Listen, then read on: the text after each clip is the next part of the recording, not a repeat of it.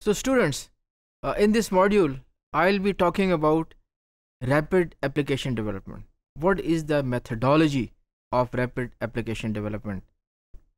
How it compares with agile. This of course is the part of the next module. What are the advantages of rapid application development, RAD? What are the disadvantages? And how it applies to what we will be doing in the next modules. So without further ado, uh, I will move on. So the basic concept of rapid application development is that it is more focused on the user feedback as compared to following strict deadlines or following strict design or following uh, something strict strictly so the concept of RAD is that it treats the software development project not as steel but as clay. It is malleable. It can be molded. It can be changed. Right? So this is the basic spirit of the rapid application development. So what are the uh, the module contents which we'll be covering?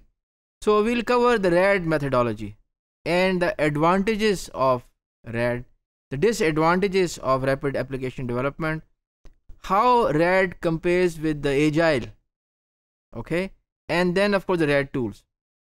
So uh, we'll cover some of the modules, contents uh, in the current module and the remaining in the next module. So let's go ahead. So what is the RAD methodology? It defines loose requirements. Loose uh, uh, not in the literally meaning of the word. So what is the what is the spirit or the the the concept of loose used over here? The requirements can change. Unlike the waterfall model okay or the traditional approach where the requirements are fixed okay over here the requirements can change. So that is why we call it the loose requirements. So what the end uh, user provides to the developers is a vision okay? And what the developers get from the client or the customer is a gist of their requirements.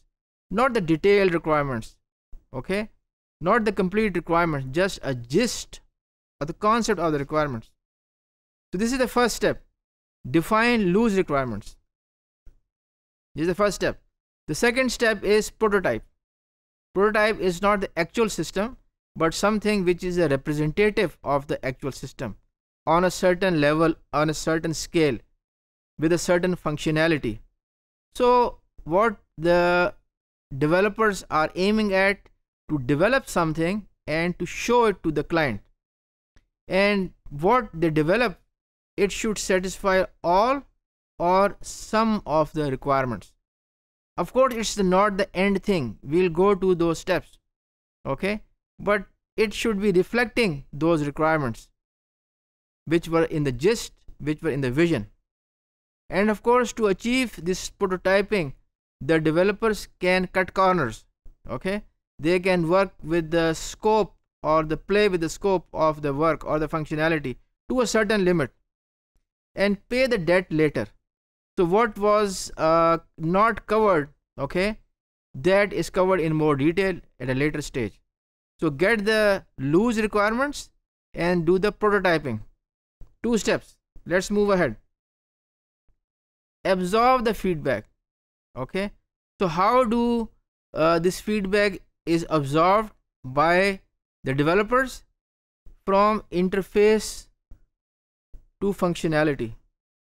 Okay so uh, they make this prototype and that prototype is available to the client for review and the client can talk about from interface to functionality covering everything. They provide the feedback to the developers and at the same time unlike the waterfall model unlike the traditional models the client can add or delete certain functionality. Now this deletion is less likely to happen this is less likely to happen. I will i will explain it to you why. Addition can be there but the deletion is less likely to happen. And what will be the result of this absorbing the feedback? Either go back to prototyping or go to the next step. Understood?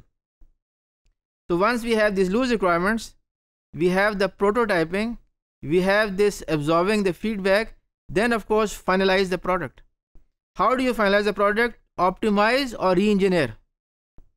Optimize. So optimize means that the client was happy to a certain extent. Now they want to improve it. Optimize or re-engineer and improve the LET. LET is the maintainability, the stability, and the, there are other things. You can just uh, put them before LET and connect to the database and write that documentation, wonderful documentation. So you are through with it. Okay. Now let's go to the next slide, and which is the advantages of RAD, rapid application development. Is uh, obviously is the speed.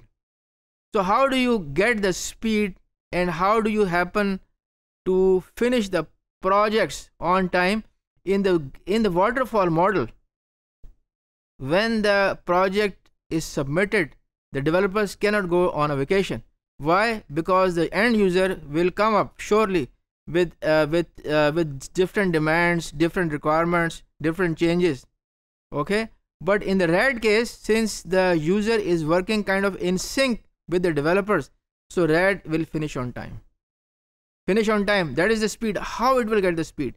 In the cost in RAD, you are building the system as per the exact kind of requirements of the end user. That is how you're building the system. But in the waterfall model you may build something right? And the end user the client decides it is not worthwhile. So you kind of cut down that zombie stuff okay? But over here there's no gutting. There is no cutting that zombie stuff which was built. So there is no loss of time. And the time translates into cost so there is no uh, loss of time. So cost is reduced. And finally is the developer satisfaction. Waterfall model developers are kind of working in silos because they are detached from the end users or the clients. Over here the client is in sync. So there are more satisfied clients in the RAD approach. And why? Because the RAD client is in sync with the developers every step of the way. So these are some of the advantages of rapid application development. In the next module, I'll talk about the disadvantages, I'll do the comparison and more interesting stuff. Thank you for your time.